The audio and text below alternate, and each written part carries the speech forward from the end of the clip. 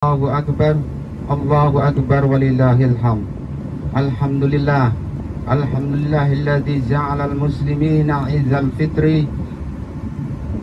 عز الفطر بعد صيام رمضان وعز الأضحى بعد يوم عرفة أشهد أن لا إله إلا الله وحده لا شريك له وأشهد أن سيدنا محمدا عبده ورسوله اللهم صل على سيدنا محمد وعلى آله وأصحابه أجمعين Amma ba' ibadallah ittaqullaha haqqa tuqatih wa la tamutunna illa wa antum muslimun.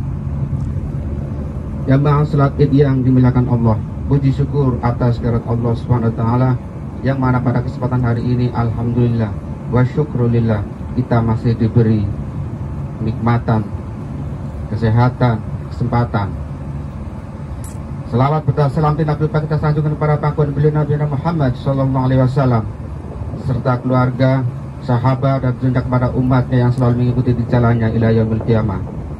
Jamaah yang dimuliakan Allah, sejak matahari terbenam di bulan akhir Ramadan, hanya kumandang takbir, tahmid dan tahlil yang mengema di mana-mana demi memuji besaran Allah Subhanahu wa taala.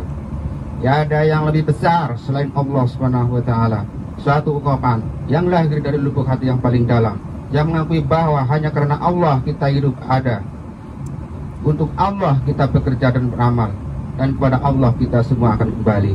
Dengan takbir, tahmid, tahlil yang kita kumandangkan menunjukkan keinsafan kita betapa kecilnya kita di hadapan Allah yang Maha Agung sekaligus menjadikan segala sifat keagungan dan kecongkakan di dalam hari kita kita sadar bahwa apa pun kebesaran yang kita sandang, kita sangat kecil di hadapan Allah.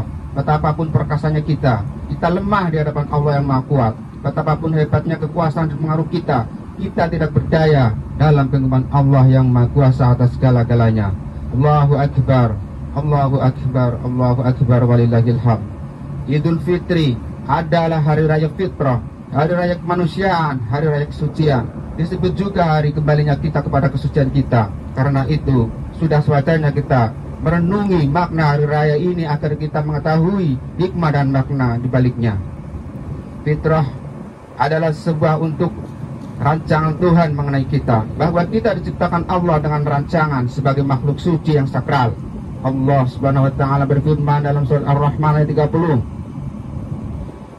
Maaf, surat Ar-Rum ayat 30. Fa'akim wajhaka lid-dini hanifa fitratallahi allati fataran nas 'alaiha la tabdila li khalqillah zalika dinul qayyim walakin aksaran nasi la ya'lamun maka hadapkanlah wajahmu dengan lurus kepada agama Allah.